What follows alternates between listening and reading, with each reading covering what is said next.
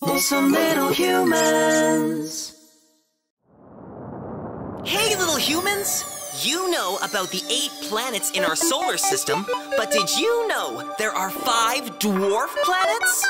Dwarf planets are smaller than regular planets, and they share their orbit around the sun with things like asteroids, comets, and even each other.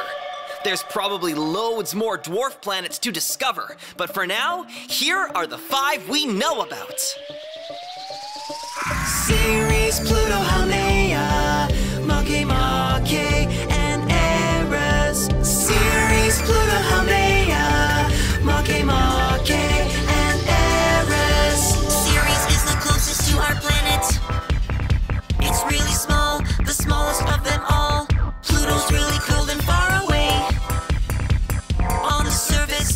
a heart shape.